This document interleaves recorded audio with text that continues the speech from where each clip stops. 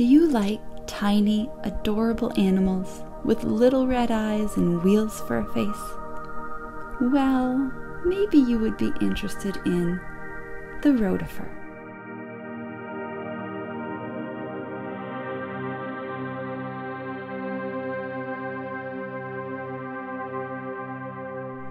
Rotifers are microscopic animals who, despite their small size, contain about 1,000 cells each. In fact, they are smaller than some unicellular organisms. They can be found in almost all bodies of fresh water, and there are also some marine species. Bdelloid rotifers can also be found in moss and lichen, in a dormant form if it's dry.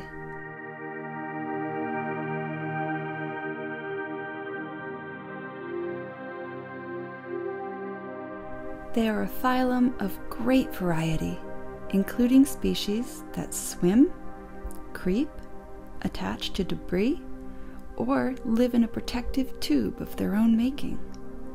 They have no circulatory system, but they have a digestive system and a simple central nervous system.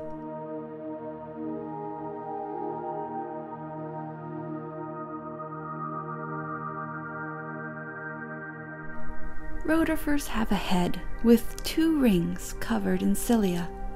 This structure is called a corona and is used to create a vortex in the water to pull in food and sometimes to swim. The rings resemble little wheels, earning rotifers their name, which means wheelbearer in Latin.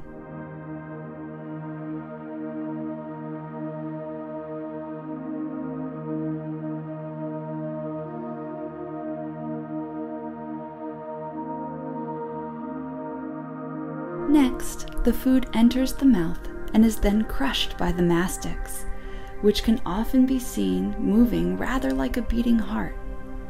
The jaw like structure contained in the mastax is called the trophi and is often an important factor in accurate identification of a species.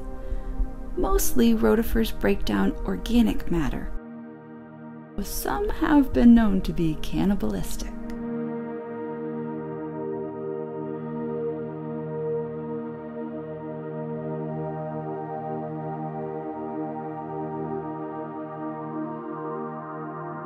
The body or trunk of the rotifer houses organs and is protected by a thick and rigid shell in some species, while being covered in a thin, soft wall in others.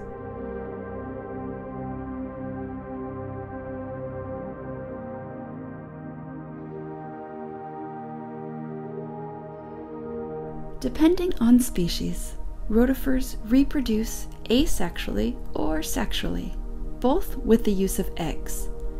In fact, bdelloid rotifers, who reproduce asexually, have had no male representation for about 40 million years by reproducing via parthenogenesis.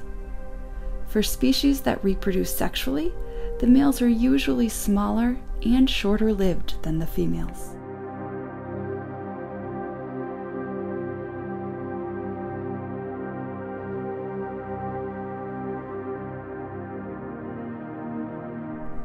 Bdelloid rotifers can survive desiccation by entering a dormant state, much like tardigrades. In fact, there was a recent example of a bdelloid rotifer from the Arctic permafrost being brought out of cryptobiosis after 24,000 years.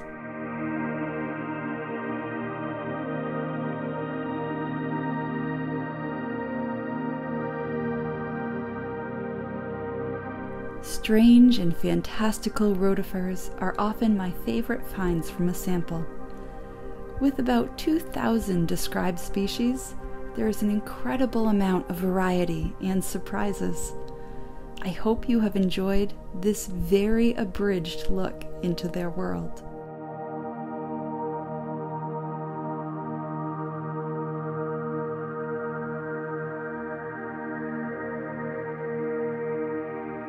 My name is Pipyr, and I'm making these videos to keep a record of my finds as I explore the wondrous microscopic life around me.